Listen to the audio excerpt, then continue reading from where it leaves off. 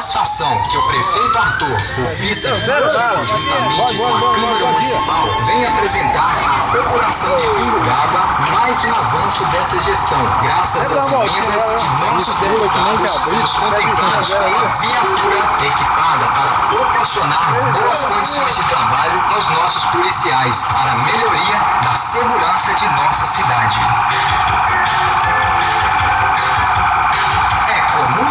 Que o prefeito Arthur, o vice Vadico e a Câmara Municipal vem a público apresentar à população de Pingo d'Água mais um avanço dessa gestão. Graças ao apoio e às emendas de nossos deputados, fomos contemplados com uma moderna viatura equipada para proporcionar uma melhor ação e boas condições de trabalho dos policiais, oferecendo mais segurança para os moradores de Pingo d'Água.